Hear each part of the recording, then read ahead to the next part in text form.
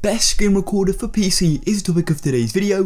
If you're new to the TutorialTucker channel, please consider subscribing down below, I really do appreciate it, and leaving a like on this video. This is a really good video and I'm showing you the full process for recording your screen. Now this video is a bit longer because I'm showing you all the best settings, so I do really really recommend watching this video throughout so you know all the settings and all the ways to do it because obviously I revealed the software earlier on, but the settings are pretty key to having a good recording experience. So any further ado, let's jump straight into this video. All you need to do is come to www.obsproject.com and here is the software. Now before you click off because you find out what the software is, do not because I'm actually going through the best settings for it, how to install it and the full installation process for this good software to record your screen. So as you can see here, it's a free and open source software for video recording and live streaming. Obviously we're video recording I'll make a specific video on live streaming very soon and download and start streaming quickly and easily on Windows, Mac or Linux. So all you want to do is come click on Windows, supports Windows 8, 8.1 and 10 so click on there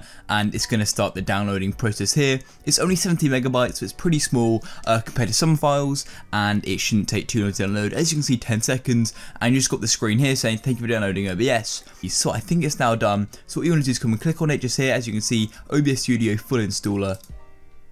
Click it and it's just opening up so it won't take a minute. And then my screen will go black because it's the Microsoft security and then all you do is click OK. Yes I think it was actually.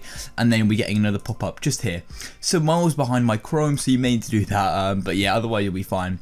So then all you want to do is come and just do the normal installation process. So next uh, make sure you read through this I have before click next and then you choose where you want to install OBS so I'm happy with mine in the program files and then I'm just going to go and click install as you can see you do need 243 megabytes so I'm going to click install and it should just run the normal process so wait for that to happen it doesn't take very long at all and uh, then we can go and do the main settings of OBS. So yeah, it's a really good software, it works on Mac and Linux. I'm going to be making like a dedicated um, alternative to Macs as well soon. But anyway, open this up and we'll wait for it to open. Now as you can see here, you've got this, so I'm just going to click no because I'm pretty confident I can do it all and you can run it any time. So let's just put this here and make it full screen so we can just see what we're fully doing. So uh, let's make this full screen. Now as you can see down here at the bottom, it's pretty small. As you can see, it's the CPU, uh, 0.4% and 30 FPS, and we can see our mic. So the first thing you do is got your scene here. So I'm just going to click on that and click rename to recording because you obviously may set up these scenes for live streaming as well. Now a scene is essentially like a screen, and then to your screen you can add your video capture or like a webcam. You can add your monitor, stuff like that. Um, so I'll go through that in a minute uh, because we want to do the settings first. So what I want to do is come down here and you'll come down to settings and now we'll get this pop up here. So let's quickly jump into this. So to be fair, in here it's pretty, general's normally pretty set up. Um, as you can see, it's just like automatically record and streaming, um, keep recording when stream stops, stuff like that, which you of go through, but it's not really, it's more personal preference. Uh, so streaming's obviously if you're going to be um, streaming um, to Twitch or YouTube, you can change that there, but we're doing recording. So come to output. Now what we want to do is come to output and change output mode to advanced. It just gives you more settings and you can go a bit more specific. So all you want to do is come along to recording and you can go and change here. So this is the first thing I recommend doing, although we do need to do some more stuff in streaming in just a moment. Come to recording and you can just do, I do always do standard. Uh, you change that obviously where you want to record it and you can generate file name without space, that's obviously personal preference. Make sure you change recording format to however you want to edit. I use MP4 personally and it's the most sort of widely known software so I do recommend that. Um, it's a lot easier but obviously here it does say something about unrecoverable but you shouldn't need to know that. Uh, audio tracks you can use as well. I don't personally change that. And encoder, personally use stream encoder because we'll set this up anyway. Um, so yeah, I'm going to use um, stream encoder. And then that's the main things for the recording um, section. Always click apply after you change any setting and then we'll come back to streaming. And now here, even though it's a streaming, it's still OBS still uses it for your recording settings. So I'll quickly run through this. So use X264 and you can click rescale output. You don't need to though because we're recording and I'll go into that in a minute. So at the minute we are using 1920 by 1080. We changed that in the video tab and I'll show you that obviously in a minute. CBR, I personally use that, but I do change this to 5000. Now I think this is to do with the more you increase this, the more power it will use. So if you've got a less powerful PC, you can lower it. So this is testing depending on your quality. So maybe 4000, I'm going with 5000. Now that's okay. Um, so the interval is when changing scenes, I believe. Um, so that is fine. Uh, you can leave it at zero. Now down here, you can use CPU usage. As you can see, higher equals less CPU. Currently, I'm on very fast. My I've got a pretty good CPU, um, and the more you go down, the more um, power your CPU is going to be required to record. So if you've got more of maybe a faster PC, you can use ultra fast, but it may not, the quality may not be as good. Um, but as you can see, when mine's very fast, you can always measure your CPU down there. So if it gets like really high, then you can just um, come down here and say put it up to a higher um, speed. So yeah, mine's on very fast, that's fine for me. And uh, audio, to here you need to go to desktop audio if you want to use a desktop audio. And for mic obviously mine's just on my default but that may be like my webcam mic but it should be my right mic. So I'm just going to put that on to line I think is the right one if I click apply. Um, no, wrong one. Um, so as you can see, it's pretty easy. You can literally just test it. And if I start speaking, it's back. So that is the right mic. So yeah, these are pretty fine. Uh, depends if you've got secondary mics and secondary desktop audios, which I probably imagine you don't, but obviously everyone's different, right? Um, which is useful down here. So say if sometimes, I don't know why, but sometimes people just like to mute their mic, you can just enable push to mute. So, you know, that might be useful.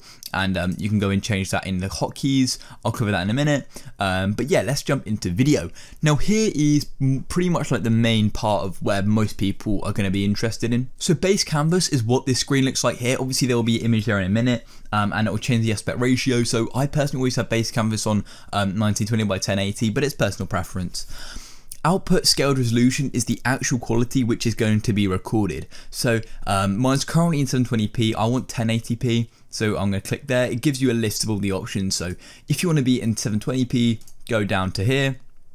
If you want 1080, come here and then click apply of course. Now downscale filter, I'm pretty happy with the bicubic one. Obviously the higher you increase it, the more CPU usage is to be required, so I'll leave it on there. Personally, I do record in 60 FPS.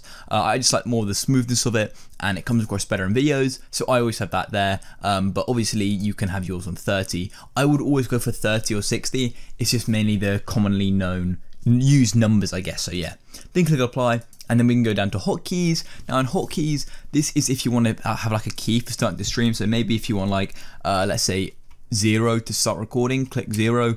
And when I press zero, recording will start. Um, or you can have like F12, you know, that's a common one uh, on backspace. so then to delete that, you just click here.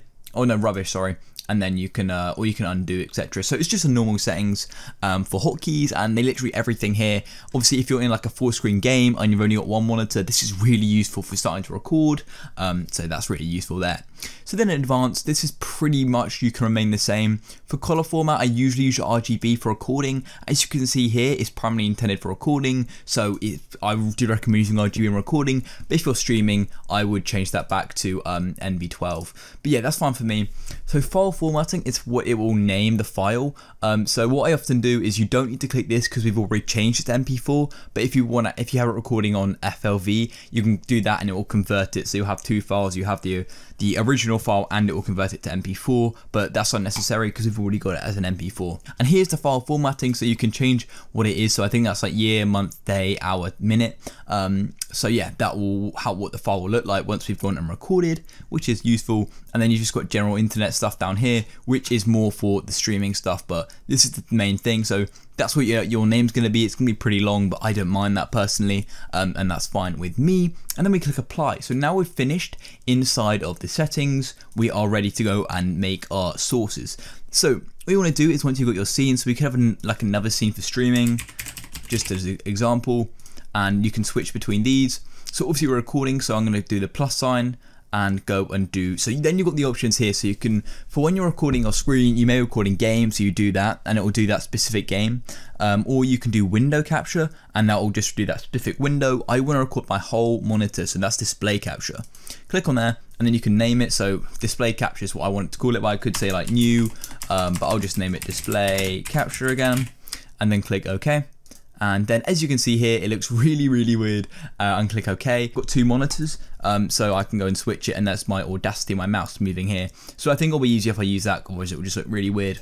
So as you can see this is my monitor and I can move my Audacity around just like normal and this will be yours. So if you have got one monitor, uh, which I know probably most people do have, but obviously depends on you, you can have it there and then it will just do like a mirror effect. But obviously when I move this away, you can then just see the normal um, screen. So yeah, if I like minimize it, it will just be normal and when I start recording. So that is like the main settings, I think. And then obviously to start recording, you literally just have to press start recording and then this will increase the CPU usage. As you can see, it has shot up. I'm recording like twice if that makes sense. I'm recording it two times so I'm recording this and I'm recording again. So my CPU is only at 12% which is pretty decent actually. Um, so I can this is pretty these settings work for me and I can do other stuff. Say if your CPU is really high it will cause your computer lag but the quality will be better. So it's that sacrifice you want to make. So then I click stop recording and we can wait a minute and then I'll go and load up that file for you uh, which is in my videos so here is the video, as you can see it's really fine and you can see my mouse moving around and yeah it's an MP4 uh, as you can see up here if I can find it. Um, you should, uh, no it doesn't say but anyway it is an MP4 and that's the name, obviously like I said that's how it'll look. And yeah, that's it guys. Um, and then you can add other scenes. So if you want to record, say, a different monitor, you could have that. And then when you switch, it just changes it. So then you keep them completely separate. So you can have different um, like sources and backgrounds. And also if you want to add a webcam, come to recording and you can go here and go and do video capture device, click OK. And then it'll come up here. I haven't got mine plugged in. So yeah, I'll click cancel on that. But yeah, that is the tutorial. I hope you enjoyed it. Leave a like and I'll catch you in the next one. Peace